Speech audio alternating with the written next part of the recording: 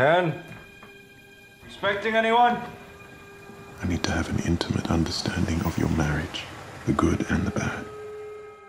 I promise it's confidential, it's between you and me. Do you feel happy here? Of course I'm happy here. Aren't you? Do you feel you know how she would react in every situation? I've always had this fantasy that there's something else out there for me.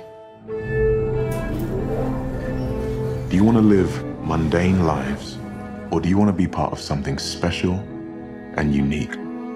You've been selected to live up there. okay, well, you're wasting your time because we, we haven't even been on an airplane and she dated. I should I should clarify. I'm talking about you here, Junior. Only you.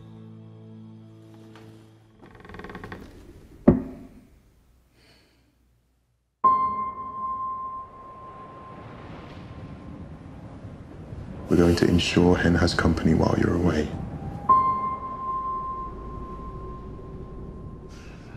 We're going to replace you. I don't want a robot living with my wife. Do you really want to leave her here all alone, day after day? He doesn't really see me anymore. Maybe I shouldn't be telling you this.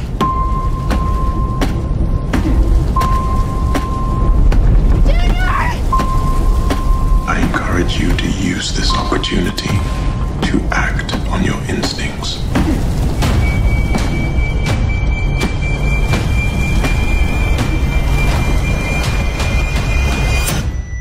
Whatever we decide, we'll be together.